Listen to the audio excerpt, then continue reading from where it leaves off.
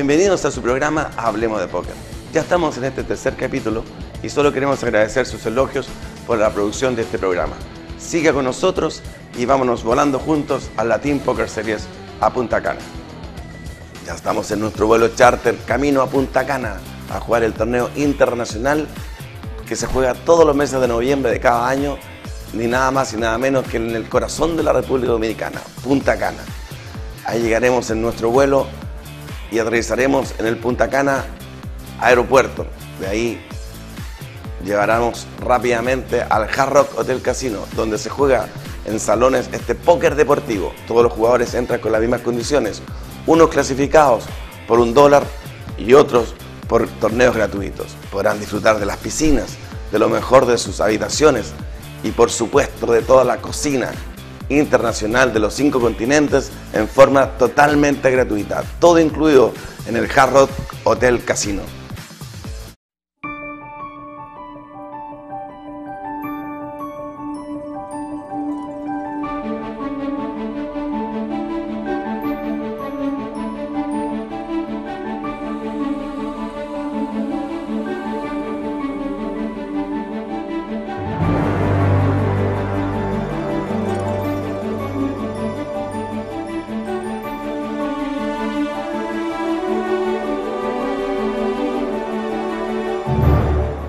Solamente puede pagar, no sé, muy, me parece malísimo el call, pero bueno. Obviamente le estoy marcando que tengo una bomba y me paga igual. Tuvo, dijo, bueno, tuvo la posibilidad de eliminar al que pensaba que era el mejor rival y la tomó, pero nunca tiene, yo nunca tengo par de nueve ahí, así que me parece malísima la jugada, solamente si tengo rey, pero bueno.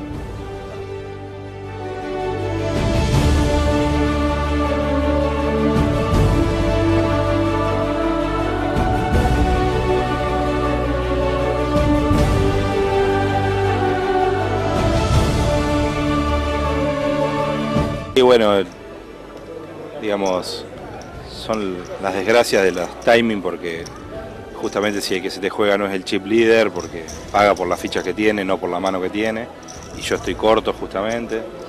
Pero bueno, hay cosas que, que más allá de que esté bien jugado o mal jugado, uno por ahí se arrepiente de haberse desenfichado antes. Pero bueno, ese chico realmente hoy tuvo un día, un día impresionante.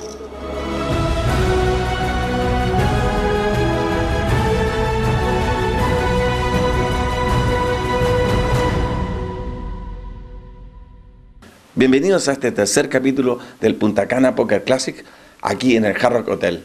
Ya estamos en la recta final. Fueron más de 507 jugadores en un torneo extraordinario. Así es, Felipe. Y estamos en la recta final, como bien dices, quedan seis jugadores nada más. Tienen asegurado un premio de 24 mil dólares en este momento, pero siguen batallando por el primer lugar de 177 mil dólares.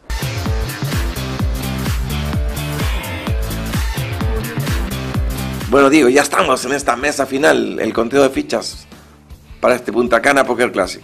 Así es, Felipe. De los 507 jugadores inscritos, tenemos todavía 6 jugadores con vida. Steven Jacobs con 700 mil fichas, Farid Yatin con 950 mil, George Munsef con 1.030.000 fichas. Bob Kodeski con 1.275.000 fichas, José Raúl Castillo con 2.050.000 fichas y cerrando como líder de fichas, Allen Angel con 5.300.000 fichas. Han sido eliminados 501 jugadores y 6 siguen en disputa por el jugoso primer lugar de este Punta Cana Poker Classic. Vamos a ver la tabla de premios.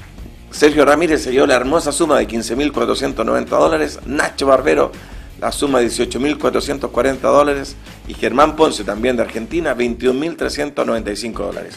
Todos los participantes, los seis sobrevivientes, tienen asegurados 24.345 dólares. Es el premio mínimo que se lleva cualquiera de los seis sobrevivientes de esta mesa final del Punta Cana Poker Classic. Y ya estamos con los asientos para Castillo, el asiento número 1, para Koteski, el asiento número 3, para Angel, el asiento número 5. Jacobs en el asiento número 6, Yatin en el asiento número 8 y Munsef en el asiento número 9.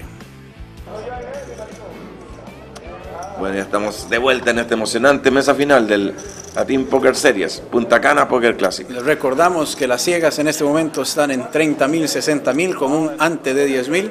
Las fichas blancas son un valor de 10.000 puntos y las rojas un valor de 25.000 puntos. Así es, hemos visto cómo los jugadores han ido cambiando su stack. Increíble, Diego, los stacks como han ido mo- modificándose, ¿no? Una mesa final muy intensa, Felipe. Hemos podido eh, ver jugadas muy interesantes, también eliminaciones inesperadas como la de Nacho Barbero. Eh, el cambio en el liderato de fichas de Farid Yatin, eh, que es inexplicable eh, cómo pasó de ser el mega líder ahora a estar casi corto en fichas.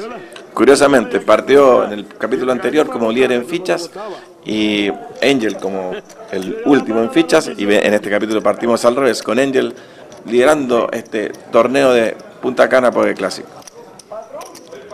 Así es, y el líder en este momento, Ari Angel, decide hacer un race a 175 mil, comandando esta mesa final ahora con su poderío, con todas las, fech- las fichas. Obviamente ningún jugador quiere involucrarse con él porque saben que tiene el poder para eliminarlos. Además es un jugador bastante luz, ha estado dispuesto a pagar hasta con Rey 7 que son jugadas muy discutibles pero le han dado un muy buen resultado. Qué lindo este torneo, ¿eh? con qué alegría se lo toman los dominicanos, Diego. Claro, los, los dominicanos, el, el- el público está emocionado porque tienen a su héroe local representándolos.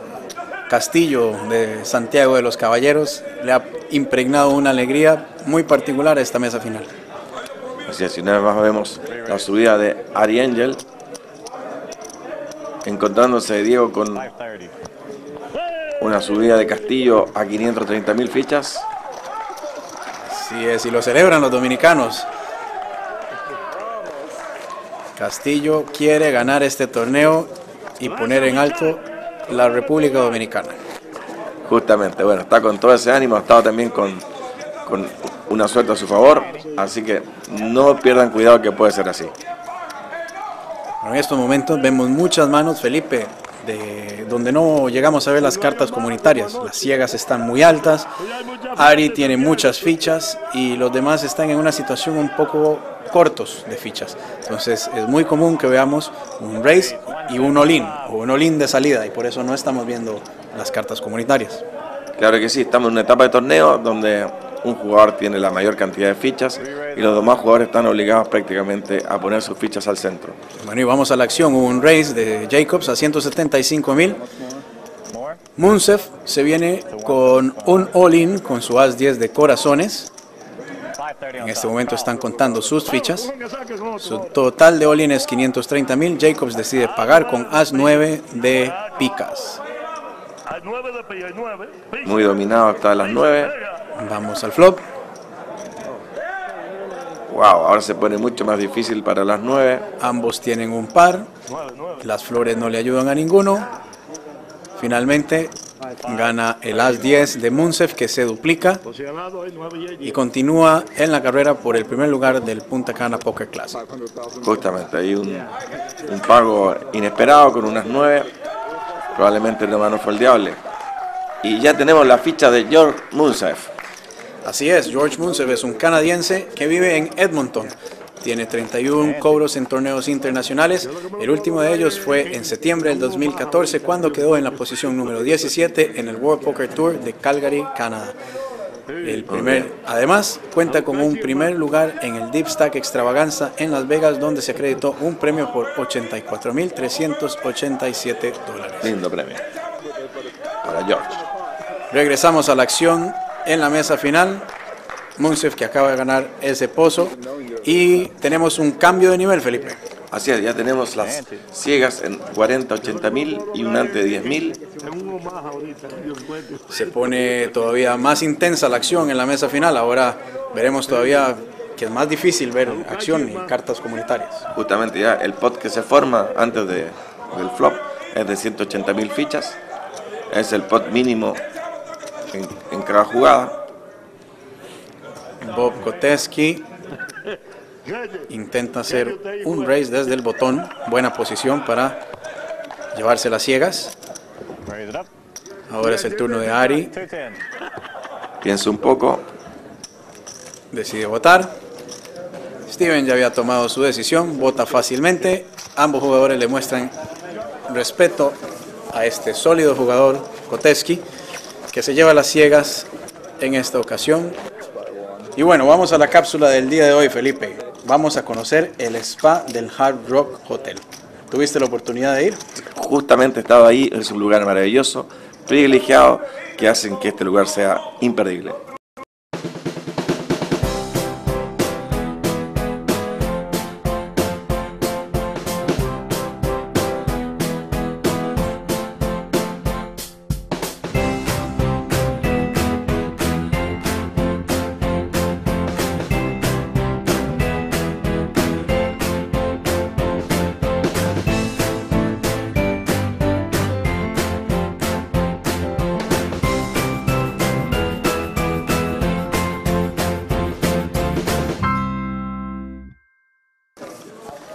Regresamos a la acción de la mesa final, Felipe. Justamente, y volvemos relajados de esta hermosa nota del spa. Y ya estamos en esta apasionante mesa final del Punta Cana Poker Classic. Seis jugadores en vida, Ari Engel como el líder y cinco que lo van a querer destronar. Ya los pozos son de 180 mil fichas, lo que hace que los jugadores estén prácticamente jugando all in o fall. Es muy interesante, Felipe, observar los distintos tipos de jugadores que hemos tenido en esta mesa final. Hemos podido observar jugadores eh, recreativos, así como también hemos tenido jugadores profesionales en este circuito, donde podemos ver en este momento un race de Castillo a 185 mil y Engel que tiene que tomar su decisión. Esta vez parece que tiene mano. Ari Angel se está tomando su tiempo.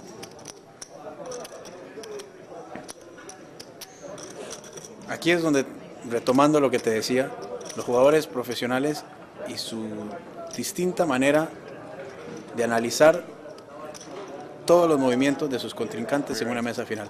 Ari Engel, por ejemplo, no es un jugador que toma decisiones a la ligera, lo medita, está serio, no da ni una expresión para que nadie pueda saber qué está pasando por su mente. En este caso, ha decidido hacerle un re-race de 450 mil a Castillo, que ahora lo piensa también, pero se le nota un poco más nervioso. Es un jugador que no está seguro, que tiene que ver, que cuenta, se agarra su cabeza. Justamente. Él, eh, vemos claramente la diferencia de un jugador a otro. Es interesante. Muy interesante, eso es lo lindo del póker. ¿eh? Uno va echando la experiencia de vida en la mesa. Solo a veces con una mirada uno puede lograr percibir la fuerza de la mano del oponente. Y en esta mesa final hemos tenido una combinación muy interesante de jugadores recreativos con jugadores profesionales. Cuando vemos también que Castillo decide pagar el re-race que le hizo Engel y tendremos acción en un flop, en un pot que ya es bastante grande, más de un millón en fichas. Flop viene 10, 10, 5. Castillo habla primero y decide chequear. Pot sumamente atractivo para Ari, que no Él probablemente hace una apuesta a continuación. va a des- no va a desaprovechar esta oportunidad. Probablemente hará su apuesta de continuación, como bien lo rescatas. Y un poquito de la lógica del pensamiento, un jugador un poquito más profesional. Él está jugando en posición con un jugador aparentemente más débil. Aprovecha la posición. Y con una pequeña apuesta de 225 mil, se lleva el pozo de más de un millón. Justamente, ahí vemos como eh, de alguna otra manera con una apuesta muy pequeña también muestra mucha fuerza y al mismo tiempo si está con una posición de bluff también puede foldear porque no está muy comprometido con el pozo. Así es. Regresando al tema de, de los tipos de los jugadores, es curioso la historia, por ejemplo, de Steven Jacobs. Eh, El jugador Jacobs clasificó por medio de uno de los sitios patrocinadores del evento a el Punta Cana Poker Classic, pero no por un torneo, sino por una rifa. Wow. Una Eso rifa. fue por suerte. Sí, por suerte. Y se ganó todo el paquete, todo pago, y decidió venir al torneo de último momento porque no quería venir. Y aquí está disputando una mesa final cuando no tenía planeado ni siquiera venir al evento. Entiendo que él es profesional y analista, ¿no? Él es un analista financiero en la ciudad de Nueva York. Así que eh, nos contaba fuera de cámaras que no quería venir porque no tenía suficientes vacaciones para luego poder disfrutar de Navidad y fin de año eh, con su familia. Entonces que si venía a Punta Cana no iba a poder eh, tener vacaciones en esas fechas. Finalmente, para no perder su paquete, decidió venir a Punta Cana y bueno, está en, el, en, en la mesa final y no solo en la- en- entre los últimos seis jugadores, eh, disputando por un jugoso premio. ¿Qué te parece si vamos a ver en la ficha la biografía de Bob Koteski? Por supuesto, Diego. Así es, Felipe. Bob Koteski es oriundo de Canadá, de Winnipeg. Él es un granjero, vive en las afueras de Winnipeg. Ha obtenido el séptimo lugar en el torneo de Texas Hold'em en Manitoba, Winnipeg, en el 2013. Su mejor premio hasta la fecha de hoy es un premio de 4.600 dólares, el cual está superando en esta mesa final ya. Pero muy bien, eso es lo lindo, lo lindo del póker, que puedes venir a soñar increíblemente. Fuera de cámara nos comentaba Bob que él es un jugador meramente recreativo y que le encanta este, su estilo de vida fuera de la ciudad de Winnipeg, donde es granjero, Ah, y disfruta muchísimo de estos viajes a- para jugar torneos de póker. Eso es lo lindo del póker. Póker recreacional también es un póker deportivo. Y tenemos la acción en la mesa. Ari Engel hizo un raise a 175 mil y George Munsef ha decidido enviar su all-in con par de dieces. Y por encima de Munsef, Castillo hace call del all-in de Munsef. Ari Engel se retira. Castillo tiene as dama. Munsef tiene par de dieces. Es un 50% para cada uno. Es un coin flip. Hace 12. Hace 12. Vamos al flop que trae 12. Alta. proyecto de escalera para Munsef. Una dama en el turn ¡Wow! para Castillo. Y esa barra que se enciende. que lo pone arriba y celebran los dominicanos. Increíble la suerte con la que anda hoy Castillo. Sí, no, no pierde ni un flip. No lo puede creer Munsef, tiene una cara. Todavía no puede creer lo que acaba de suceder. Tenía posibilidad de escalera en el flop. Su par se veía muy sólido y esa dama en el turn vino a acabar con su torneo. Justamente vemos cómo flamea esa bandera dominicana. Y esa barra que acompañaba muy bien a Raúl Castillo. Y George Munsef nos sale eliminado en la posición número 6. George Munsef con un premio de 24.345 dólares por este extraordinario desempeño en el torneo de Punta Cana Poker Classic 2014. Bueno, mientras Munsef va a la caja, ¿te parece, Diego, que vamos a la entrevista del día de hoy? Me parece muy bien, Felipe. El día de hoy tenemos una entrevista con Gerardo Godínez, Chiclic, reconocido jugador profesional mexicano y además representante de la sala Ya Poker.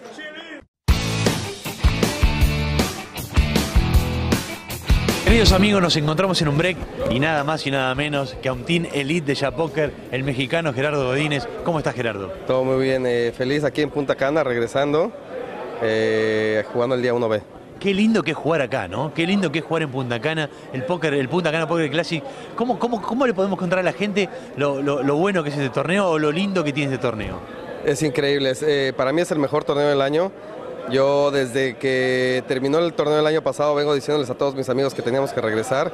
Estamos aquí y bueno, solamente puedes contar maravillas de este evento. Es un lugar increíble, el hotel, la comida, el torneo, el evento, todo en sí es calificación de 10. Es como la frutilla del postre para cerrar el año, más o menos, ¿no? Sí, justamente eso que tú dices, el postre perfecto, eh, un torneo casi a final del año para acabando esto, yo creo que por lo menos para mí descansar, entonces es un buen torneo para finalizar. Muy bien, ¿qué tal el balance? ¿Cómo te trató el año? ¿Cómo estuvo? ¿Fue positivo? ¿Fue eh, even? ¿Cómo quedamos en, en- en resultados? Más que nada en, en valores, en, en expectativas que vos tenías para este año.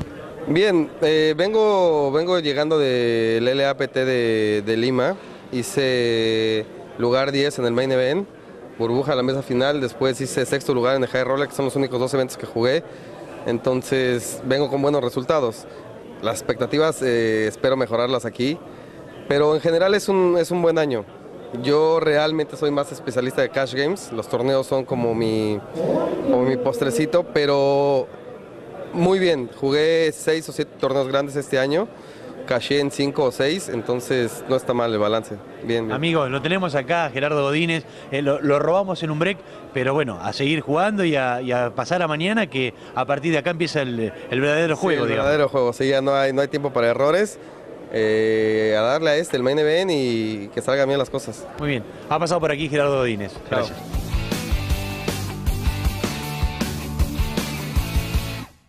Muy interesante la nota con Godínez y ya tenemos en pantalla la tabla de premios del Punta Cana Poker Classic. Así es, Felipe. Ya hemos visto cuatro eliminaciones en esta mesa final. La última de ellas fue George Munsef, que llevó a casa un premio de 24.345 dólares.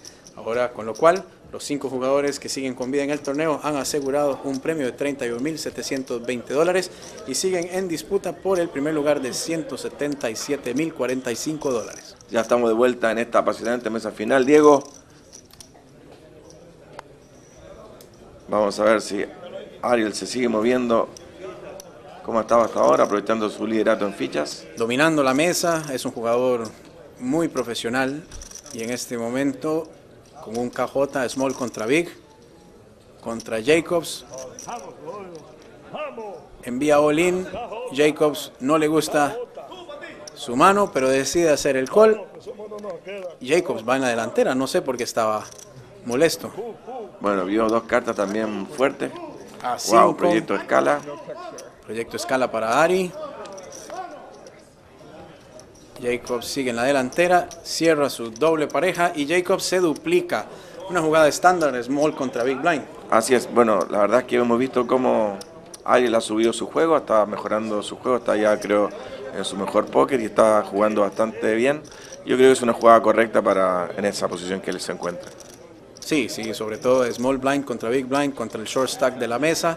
Eh, Jacobs también con su A5 no podía esperar una mejor mano para eh, hacer este, esta jugada y doblar sus fichas. Justamente, hemos visto cómo él ha jugado muy correcto, sus manos que ha jugado Jacob han sido eh, bastante lógicas y que obviamente lo ha permitido estar aquí presente en esta mesa final. Y bueno, con las ciegas como están en este momento, el pot ya está en los 170 mil fichas. Así que está bastante alto el nivel de las ciegas ya. Así es, ya estamos con cinco jugadores en esta mesa final. Cinco jugadores. Tenemos un dominicano, dos canadienses, un colombiano y un estadounidense. Y hay un all-in. Bob Koteski envía all-in con su as-2, corto en fichas. Ari Engel le paga con su par de 10. El flop trae un- una tercia de cuatros que le da un full house a Ari. Y el no llega. El as no llega y Bob Koteski sale eliminado del main event del Punta Cana Poker Classic en quinta posición. Vamos a ver la tabla de premios, cuánto se lleva nuestro amigo Bob. Así es.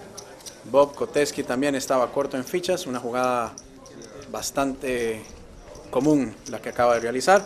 Y nuestro amigo Bob Koteski de Canadá se lleva a casa 31.720 dólares por su quinta posición en el Punta Cana Poker Classic. Bueno, Felipe, dos eliminaciones más hoy en el Punta Cana Poker Classic. George Monsef, que no pudo contra la buena fortuna de José Raúl Castillo, que todas sus manos han estado cerrando. Así es, esto es lo duro del póker, cuando uno, las cartas están vivas y se nos van vuelta la mano. Pero también le da un valor espectacular. Así es. Y Bob Koteski, que también abandona el torneo en la quinta posición, el jugador recreativo oriundo de Canadá, que se lleva un premio de un poco más de 31 mil dólares para su casa. Así que esperamos que hayan disfrutado este capítulo y desde el próximo estaremos llegando hasta el heads up de esta mesa final. Hasta la próxima.